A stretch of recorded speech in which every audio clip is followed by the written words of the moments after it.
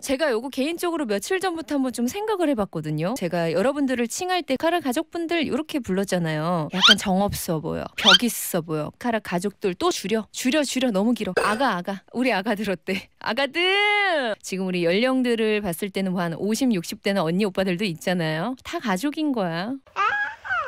이제 우리 청취자분들 애칭이 있습니다. 어? 아가라고 부르세요. 아가. 서인국이에요. 아가야. 누가 지은 거예요? 제발 알려주세요. 내가 한 예순 드신 우리 언니께서 야 이 나이에 아가라고 들어오네요. 좋아하셨어. 네. 우리 아가들 듣고 있죠?